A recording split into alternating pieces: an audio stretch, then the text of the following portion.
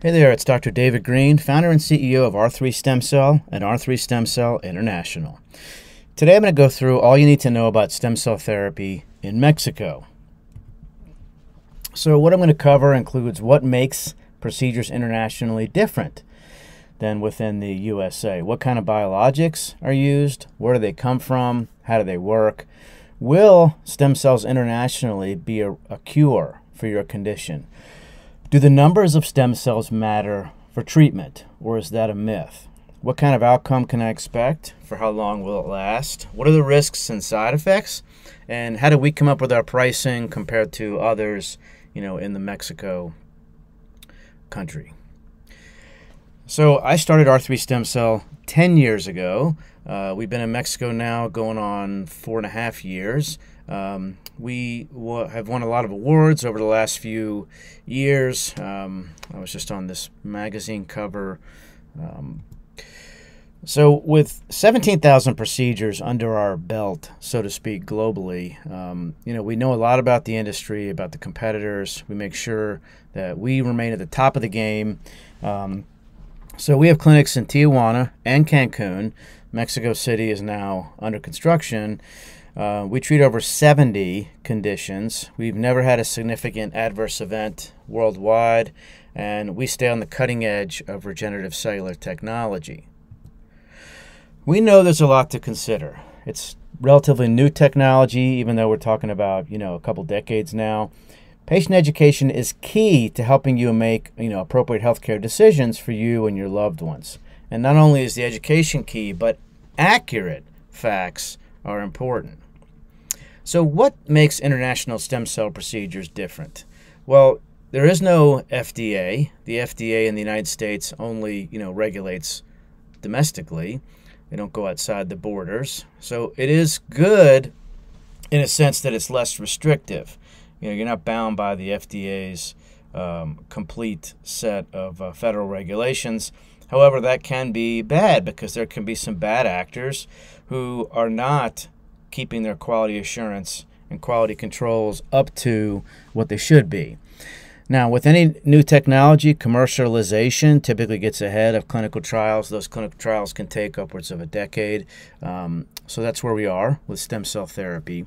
With the biologics, uh, the difference is in Mexico is that you are allowed to culture the biologics and the stem cells. Um, you can use you know, bioreactor and incubators and things like that. Um, that consists of maximal manipulation uh, category here in the United States.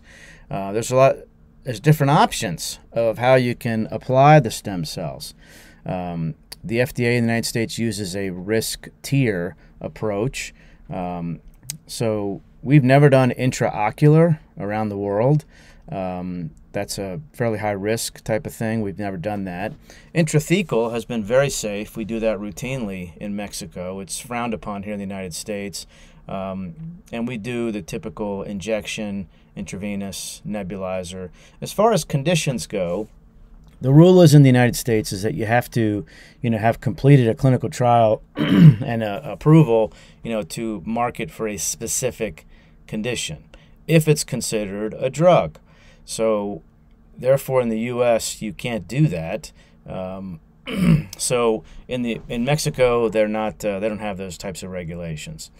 Pricing could be higher or lower um, than the United States. So, and there's some caveats with that, which we'll go through. What kind of biologics are used? Well, I can't speak for other entities. Um, I know that we use umbilical cord tissue uh, specifically from the Wharton's jelly part of the umbilical cord. I'll show you that in a second. Why? Well, you know, over 10 years of doing these procedures, we found that umbilical cord tissue stem cells are exponentially more active than those from bone marrow or your own adipose tissue. So, five years ago, we basically switched to using those only. Um, and then a few years ago, we added in stem cell exosomes. I'll show you what those are.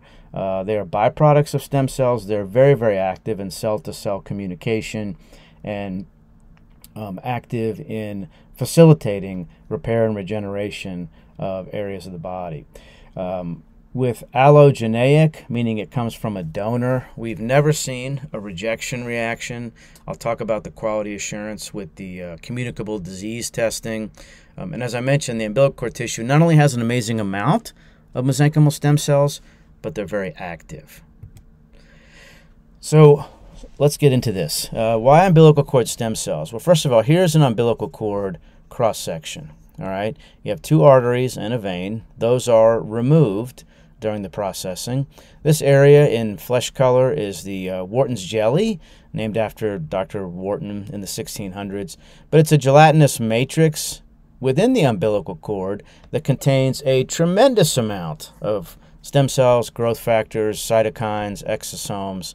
Um, so that's predominantly the area that we're talking about when we um, use these biologics, okay? So they're very active mesenchymal stem cells in the umbilical cord. We do not use embryonic stem cells. Those are the ones that come from aborted fetuses. We've never done that. We culture the Wharton's jelly stem cells in a clean room that is CGMP compliant, ISO certified. Um, we keep the culturing to the third generation or less.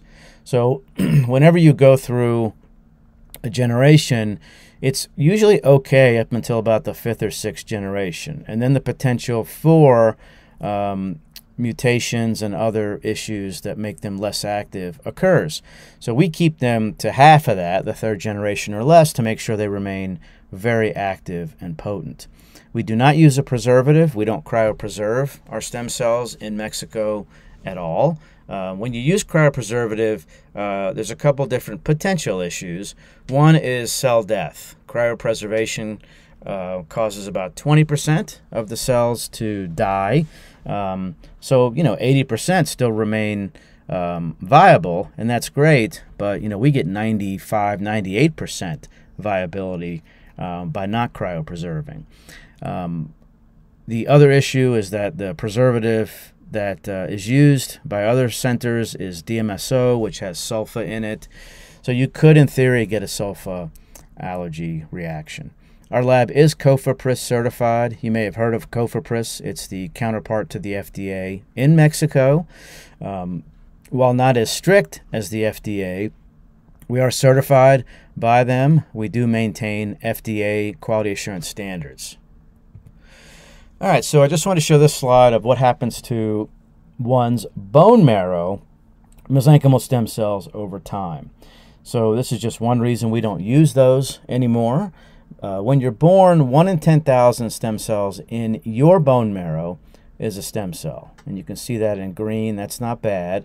But as we age, it decreases dramatically. You can see what happens by the age of 30. It goes down 25 times. By the age of 50, it's down 40-fold and by the age of 60, it's down 200 fold, which is over a 90% reduction. And it doesn't make any sense for individuals to have a bone marrow stem cell procedure um, anywhere these days. So one of the reasons we use exosomes is a few years ago when the research started coming out and we started using them, we found that they improve outcomes when we use them with stem cells, you know, or even by themselves. So on the right here, you can see uh, a stem cell or half of a stem cell, um, and they produce exosomes inside uh, themselves. They are uh, really like uh, lipid uh, covered, so they're kind of like bubbles. And within them, the exosomes contain what you see on the right here micro and messenger RNA, DNA, cytokines, growth factors. So they get extravasated by cells, and it's not just stem cells, although that's what we used. I mean, you can even find exosomes um, as secretions from breast milk, semen, all kinds of different areas uh, in humans secrete them. But in this case, we're using umbilical cord uh, stem cell exosomes. So what happens is they get released and then into the surrounding area or the circulation, and they get taken up by cells that are in need. They have receptors. They invaginate the um, exosomes, and then as you can see down here, these are uh, released into the cell, and they cause uh, reactions at that point: transcription, translation, um, differences in, in metabolic activity. So, to delve a little deeper into exosomes and why they're so important, I'm just going to describe quickly a study that was done at Stanford about 15 years ago. You can see here um, in the left side where they've spliced together two uh, mice. Uh, it's their circulation that they've spliced together. And basically, what they wanted to see is that they put together an old mouse and injured some skeletal muscle in the old mouse, but it had the circulation from a young mouse what would happen. And they found that the, uh, by, by having it connected to a young mouse, the old mouse um, healed much better than uh, really like a young mouse again. And the question is why? And when they labeled the stem cells to see if those were the ones participating in the repair, the, none of them showed up in the repair. Um, so the theory for the last 15 years is that it's been the exosomes that were facilitating the repair, and uh, that was called the Fountain of Youth experiment. So when we look at combining exosomes and stem cells for treatment, most other centers do not do this. Um, they should. Uh, is anybody who gets 50 million or more stem cells at our center gets exosomes for free? It's a huge value proposition. It's something that a lot of centers charge a lot of extra for. Um, but if you look at the chart here, this is our theory, okay, that the exosomes provide a quicker improvement and they last, um, you know, let's say that's a six month type of thing. The cells um, start to help slower and they last a lot longer. So that's the one two punch. So, where do the biologics come from? Well, we have the same type of program in Mexico as we do here in the United States. These are consenting donors after a scheduled C section who are under the age of 35. They are, although in Mexico we do help them with their prenatal vitamins and uh, um, health uh, with diet, things like that. Um, there is a significant screening of the mothers to make sure they are good candidates. There's a consent form. Um, the yield is much higher with a scheduled C section as opposed to a a natural childbirth, and it's much more sterile. So, those are the reasons why. Now, what are we looking to prevent? Well, we're looking to prevent communicable diseases and any types of bacteria and other pathogens. On the right here is a sample analysis certificate looking at what the third party uh, lab tests for uh, Lyme, hepatitis, CMV, HIV, um, syphilis, West Nile, and this shows the um, analysis before COVID. We do test for COVID as well. All right, one of the key points is that the safety at our centers in Mexico, the lab, is equitable to FDA standards. So, therefore, it's a non factor at our centers when you're trying to think of is it safe or is it not for the actual treatment. Not only are we COFEPRIS certified, but we follow all of the FDA guidelines, which assures the highest quality assurance. In addition, our center in Tijuana is part of an ambulatory surgery center, which is also accredited, and Cancun is actually part of a hospital accredited as well. Will an umbilical cord stem cell procedure or exosomes cause rejection? The answer is no. With 17,000 procedures performed worldwide, we've never seen a rejection reaction. These stem cells are immunologically privileged. They don't have MHC2 markers. They do not spark up an immune, immune response. Um, so, from that aspect, no concerns. Do they cause tumors? Well, these are not embryonic stem cells, these are mesenchymal stem cells um, and they do not induce tumorigenesis. Okay, so they don't cause or exacerbate tumors. There's many studies to show that, uh, so no concern there either. Will stem cell therapy in Mexico be a cure for my condition? The answer is no. Stem cells right now don't cure anything unless you're doing, a, you know, a myeloablation procedure and um, you know, ablating the immune system. And that's a treatment for some types of cancers or whatnot. We're not talking about that. We're talking about kidney disease, lung disease, arthritis. If anyone tells you they can cure your condition, then it's just not true. You know, they're uh, hyperbolizing what they can do. Uh, the better term is mitigation. So we've developed the IntelliCell, um, which is short for intelligence cell, and that's what we use in Mexico. It took a long time to do that because we wanted to make sure that the patients are receiving the absolute best stem cell biologic possible. And these are cells that are specifically selected to produce the best results. Um, we look at mesenchymal stem cells that have shown to be very pure. We use specific markers to make sure that there's lots of mesenchymal stem cells. We want to make sure they're very potent, so we go less than the third generation of, of culturing. Uh, viability, we don't use preservative, so the viability is 95, you know, often 98%. So you really do get what you need. And colony forming units. We make sure that these stem cells produce colony forming units. That's an indicator of just how active those stem cells are. So not only are they present, they're potent, active, viable. Um, so on the right, you can see um, my synopsis. They seek out areas of inflammation and they deploy in the area needed to help repair and regenerate. They are able to differentiate into many different cell types. They're not pluripotent, so it's not, you know, like an embryonic stem cell where they can turn into absolutely anything. But that is, you know, truly not what we need. We need them to be able to turn into a lot of different cell types, um, not just, not everything. Persuasion, they're very active in cell to cell signaling to turn on repair and regeneration processes. They promote processes that we want and need, such as new blood flow, new cells to form, um, and then they do shut off uh, possibility of tumor formation. So they're great from start to finish. Do the numbers of stem cells matter for treatment, or is that a myth? The answer is yes, they absolutely matter. The latest data on conditions shows that to a point, higher numbers are better. So, for instance, in the United States, it's very difficult to achieve high stem cell numbers. In Mexico, not so difficult. You know, with our uh, bioreactor and the culturing methods that we use, it's very stable, consistent. We can get high cell counts without having to charge patients, you know, a fortune.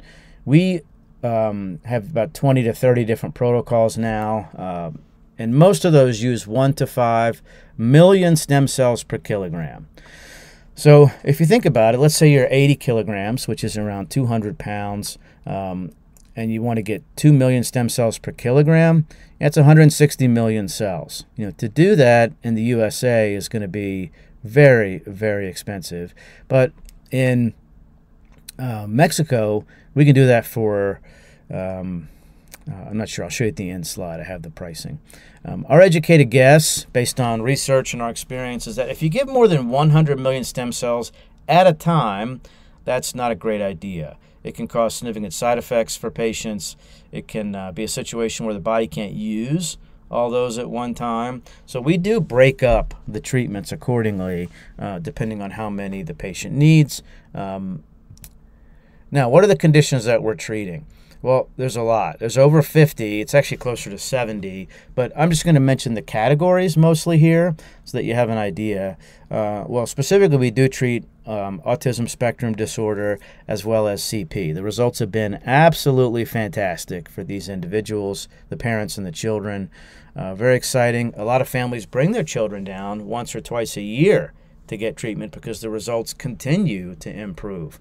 Neurodegenerative category includes uh, post-stroke, um, ALS, MS, um, you know, lots of different issues underneath that category uh, do great.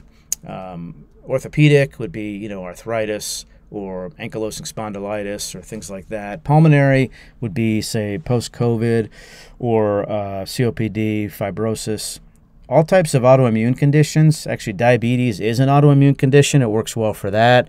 Psoriasis, RA, lupus. Um, you know, I'll put Lyme disease under there. It's not really an autoimmune condition, but you know, I thought I'd mention it because it works great. And fibromyalgia. Urologic would be things like erectile dysfunction. It's one of the most common reasons people come for treatment. It works amazingly well um, for that, as well as overflow incontinence in females. Diabetes, there's good research on type 1 and type 2. Um, all this information is on our website, and we have a lot of uh, brochures for download as well.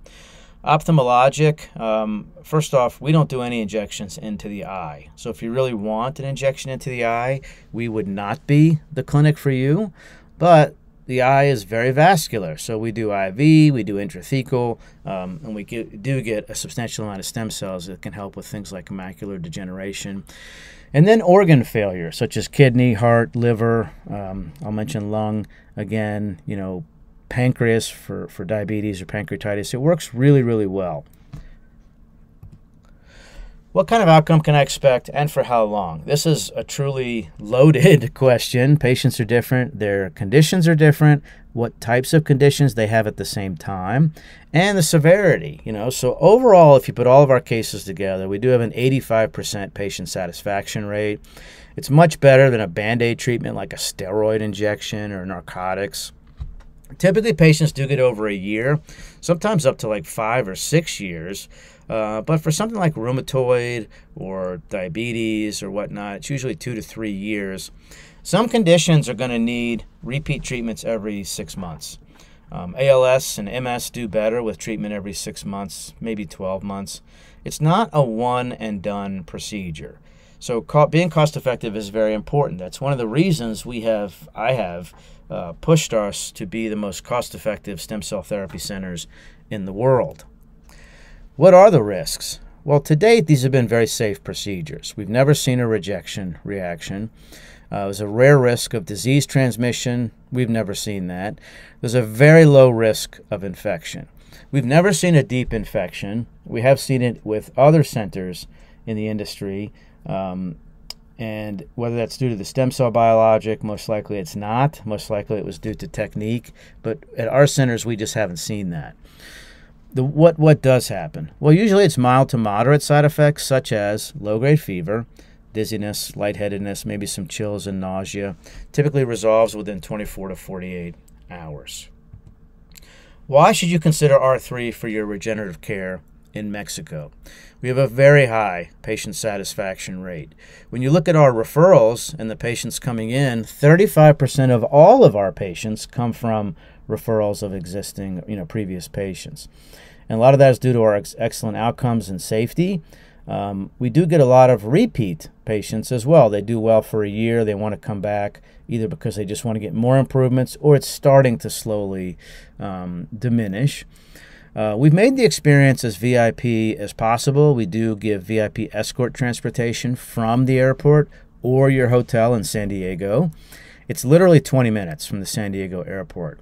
Um, I did a video. It's on our website, stemcelltreatmentclinic.com, with Dr. Ramon, where you know he picked me up from the airport and we filmed it during the um, during the uh, trip down there, uh, including the border, and it was literally 20 minutes. It's in a nice area of Tijuana. You hear about the nightclubs and all that. No, we're on the totally other side, on the business zone, Rio Zona. It actually looks like San Diego, except for the signs being in Spanish.